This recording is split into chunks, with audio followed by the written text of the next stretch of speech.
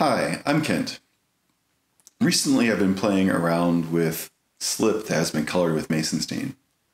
I recently did a video looking at marbling slip. So you put in some regular slip, you drip in a little bit of regular slip, and then you swirl it around. that creates a marbling effect around the inside of the mold. When I did that, I noticed I got a little bit of slip on the mold, and that actually showed up in the marbling effect as well. It wound up being just some colored dots around the outside edge.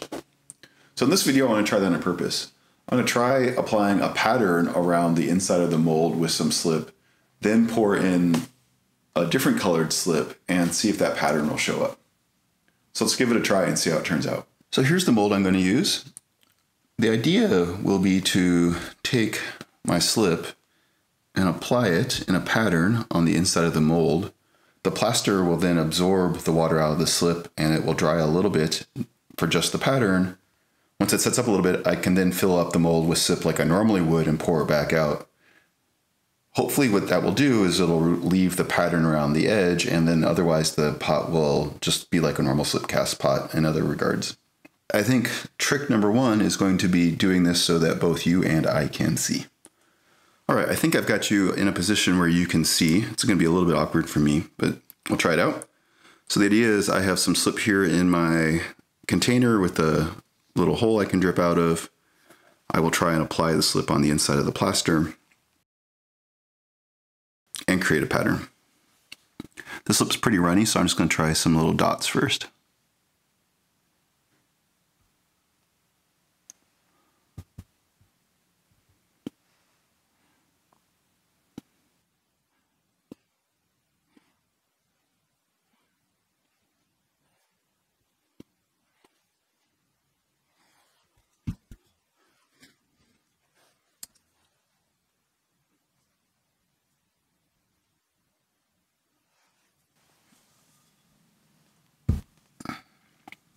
I've noticed my first problem.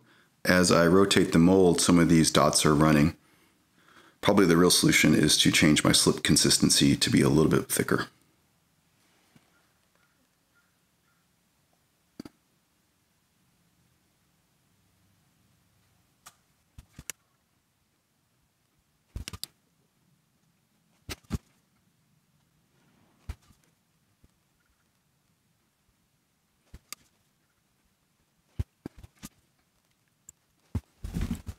Right, I went all the way around. I changed my mind. I am not particularly patient.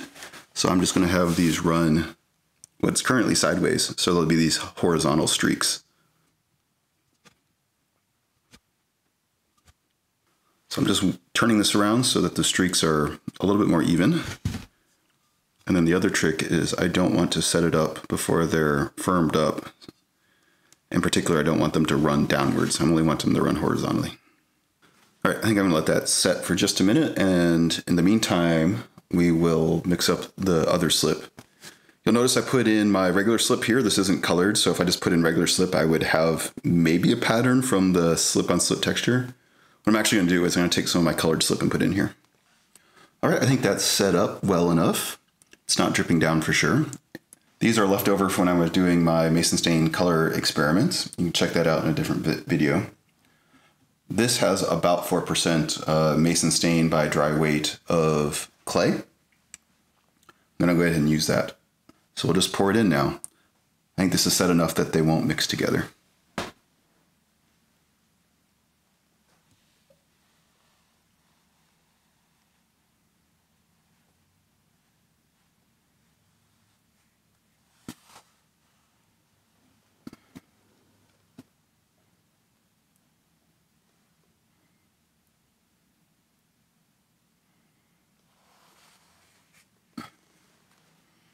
I don't quite have enough. I'm really close to the edge. So I'm not quite level. I'm pretty sure my bench isn't level.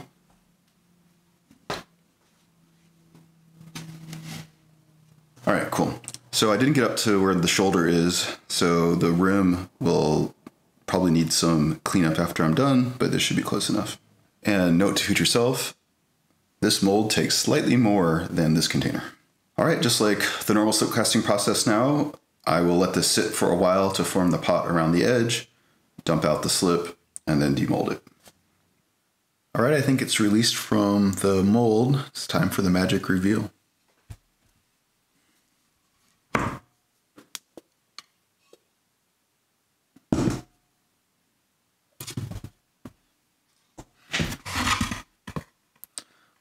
All right, so there it is.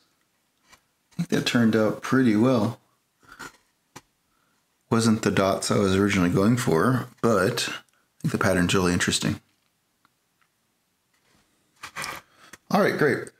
So I will clean up the rim when it gets a little bit firmer, and then we'll let it dry, bisque it, and fire it.